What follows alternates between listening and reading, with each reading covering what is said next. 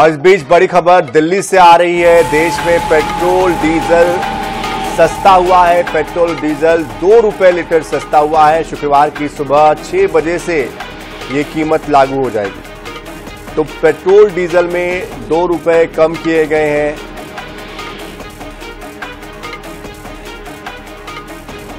तो petrol, diesel सस्ता हुआ है। दो रुपए लीटर पेट्रोल, डीजल में कमी की गई है।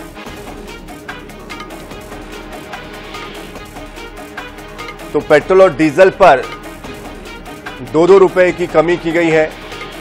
शुक्रवार की सुबह छह बजे से ये कीमतें लागू हो जाएगी।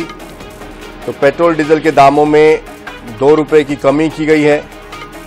लगातार इस संबंध में मांग की जा रही थी। हालाँकि लगातार विपक्ष कहता रहा है कि क्रूड ऑयल सस्ता हो रहा है, लेकिन उसके बावजूद कमी नहीं की जा रही है। ऐसे में अब दो रुपये की कमी की गई है। देखना ये होगा कि आगे इसमें कितनी और कमी की जाती है।